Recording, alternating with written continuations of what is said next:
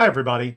So now we're going to go back to something which we introduced when we were looking at examples of groups and uh, study it a little bit more closely. And that's um, the class of permutation groups. And in particular, we're, we're going to start by looking again at the group of all permutations of a finite set, uh, which goes under the name the symmetric group. So um, let's start with recalling a few things which we have talked about briefly before.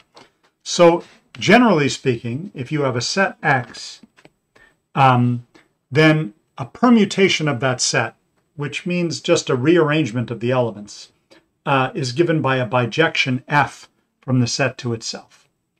Now, um, X can be, in this situation, any set.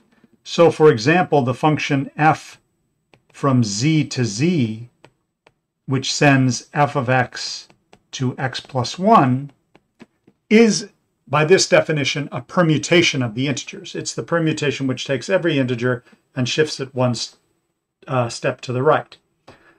And um, alternatively, if our set x has two elements, let's say the elements 1 and 2, then the function f, which takes 1 to 2 and 2 to 1 is a permutation of that set.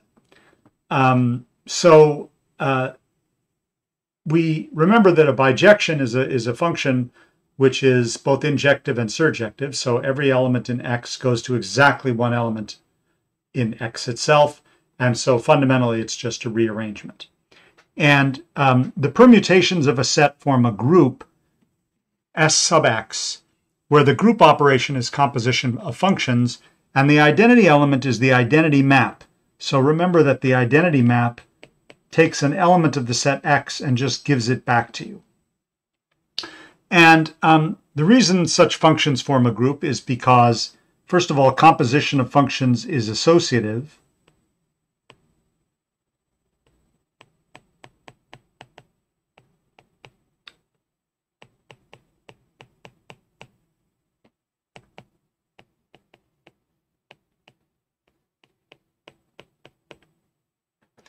Uh, whether you do, I mean, it all, whenever you have F, G, and H, you always do H first, then G, then F, no matter how you group these things together. And uh, the inverse, because F is bijective, by the inverse function theorem, we know that F has an inverse function.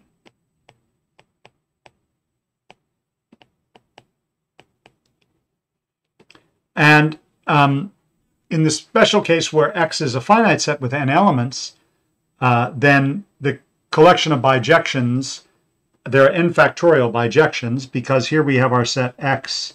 It has elements x1 down to xn, and our function, we have to send x1 to one of these elements, so we have n choices for x1.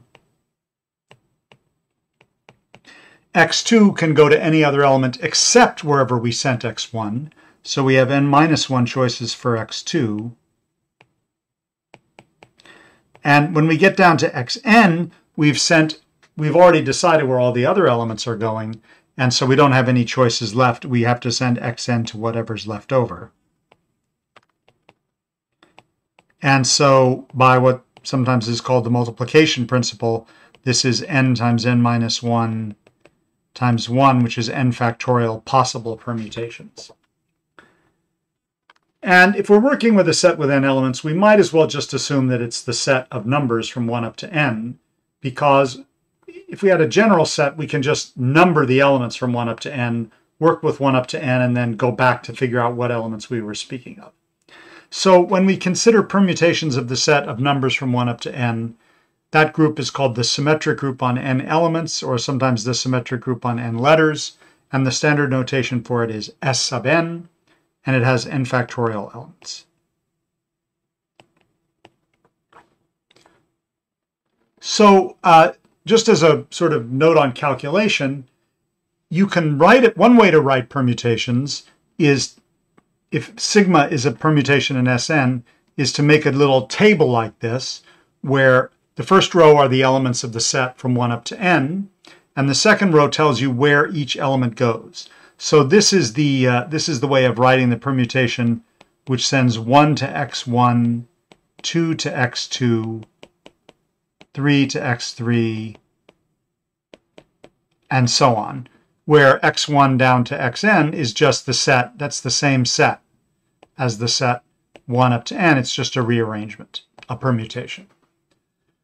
Um, and then if you want to use this notation and you want to compute the product of permutations using composition, you just have to remember that when you, if sigma is given by this permutation, so it takes 1 to 2, 2 to 1, 3 to 4, and 4 to 3, and tau takes 1 to 2 and 2 to 3 and 3 to 4 and 4 to 1, then the product, this is going to, we have to work out where 1, 2, 3, and 4 go.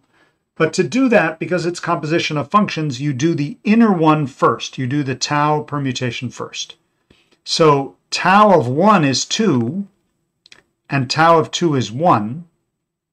Sorry, sigma. Tau of 1 is 2, sigma of 2 is 1. So in the product, 1 goes to 1.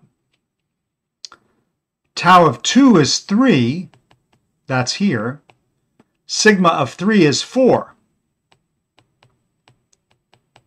So 2 goes to 4. Tau of 3 is 4. Sigma of 4 is 3. So 3 gets left alone. And tau of 4 is 1. And sigma of 1 is 2. So 4 goes to 2. And if you look here, you see that this is again, a permutation of the set 1, 2, 3, 4. Um, maybe just for the sake of one other calculation, what's the inverse of this permutation, uh, which is um, which is uh, sigma? What's the inverse of it? Well, one way to work out the inverse is to um, flip the rows and then sort them. So uh, the inverse the way you figure it out is you you look uh, if if sigma takes two to one, then sigma inverse takes one to two. If sigma takes one to two, then sigma inverse takes two to one. If sigma takes three to four, then sigma inverse takes four to three. And if sigma takes uh, four to three, then sigma inverse takes three to four. And, and actually one way to work that out would be to take just to flip the rows and write it as 2, 1, 4, 3, 1, 2, 3, 4, and then sort the upper row into order. So we take the 1, 2, 2, 1, 3, 4, 4, 3. And again, we find uh, the inverse of an element. And then if you wanted to check, you could see that sigma times sigma inverse is the identity. 1 goes to 2 goes to 1, 2 goes to 1 goes to 2, 3 goes to 4 goes to 3, 4 goes to 3 goes to 4. So the product is actually the identity. Uh, and of course, the identity is just 1, 2, 3, 4, 1, 2, 3, 4.